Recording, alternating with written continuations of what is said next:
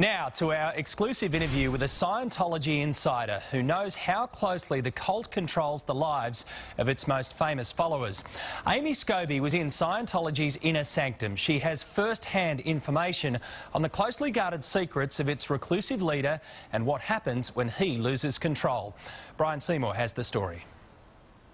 You're not talking about pharmaceutical drugs, Panadol, you're talking about illicit drugs, illegal drugs. Correct.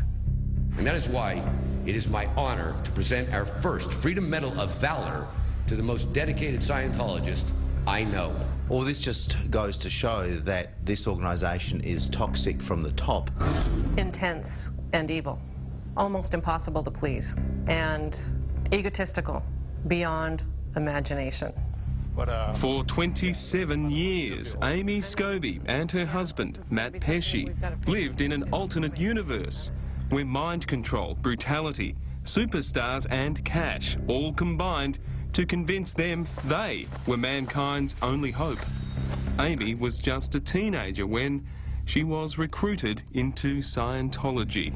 It was Halloween in 1979, and 14-year-old Amy Scobee was sent all on her own from her home in Seattle to here, the Church of Scientology in Los Angeles. She began life and work in the organisation's elite unit called the Sea Org. It was there she met some of their brightest stars and learned some of their darkest secrets. During her three decades inside, Amy managed the Scientology Celebrity Centre, rubbing shoulders with A-list converts. I was talking to Shelley, um, and she was telling me about how dedicated Tom Cruise is to Scientology.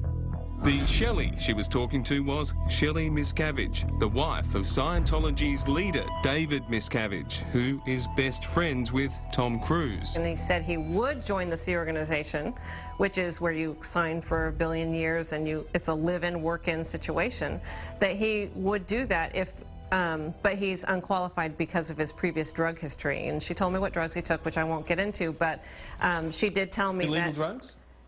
It, drugs that disqualify him for the Sea Organization. The most respected and dedicated Scientologists like Amy are expected, even required, to join the Sea Org. Tom Cruise did not join because he took those drugs, he's no longer um, qualified. He's not qualified to join the Sea Organization, but otherwise he'd be here in a heartbeat. Instead, Cruise went on to movie mega stardom and marriage. During Cruise and Nicole Kidman's 10-year union, Amy was ordered to interview staff to work in their Pacific Palisades home.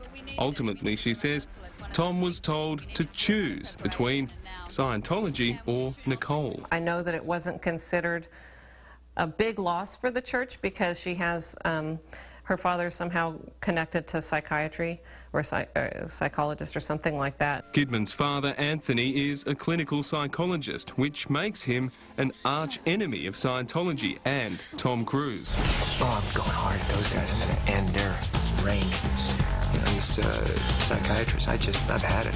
Absolutely had it. It's disgusting to me. Amy told us that Nicole Kidman studied Scientology more than anyone had realised. She says Kidman achieved the state of clear and started on her operating thetan levels, the same path taken by John Travolta, Kate Ceberano and James Packer. I like the fact that she is her own woman, you know, and she made her own decision and if it wasn't for her, then she was able to leave and not stay, you know, under their bind. Perhaps the most disturbing of Amy's revelations are about Scientology's leader, David Miscavige. David Miscavige jumped up onto the table and lunged at Jeff and knocked him and his chair over into my cubby right at my feet. And um, he's struggling with him and kind of strangling him and knocking him about. And, um, and Jeff was just completely shocked. The victim of this unprovoked attack, Jeff Hawkins, spoke to us in February. His account matches Amy's. I don't expect the head of a religion to physically assault and threaten his staff the way that man does. And I've seen him go off on people like that just out of the blue several times.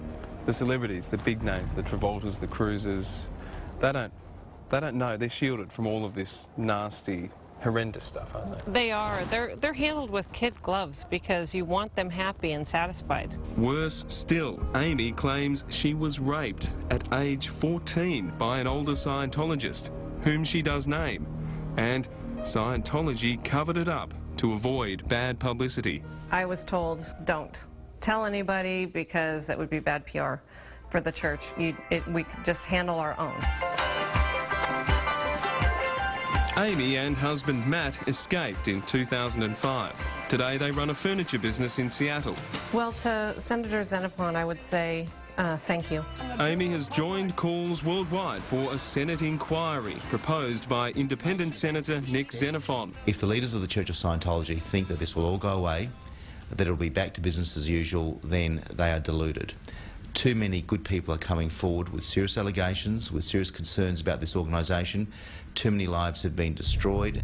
Amy's book, Scientology Abuse at the Top, is due out next month.